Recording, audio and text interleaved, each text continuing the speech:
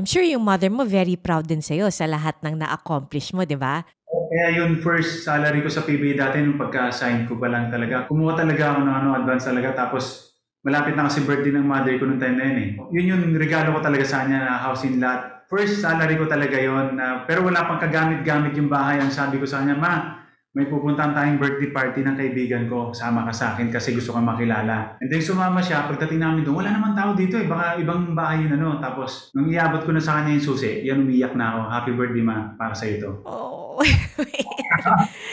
ako yung naiiyak, teka. oh, so anong reaction ng mami mo? Wala, umiyak lang na ano. First time kasi namin ano, first time namin maka, woo, ang hirap. Sorry, wait lang. Sorry, hindi naman kita pinapahirapan, Mark.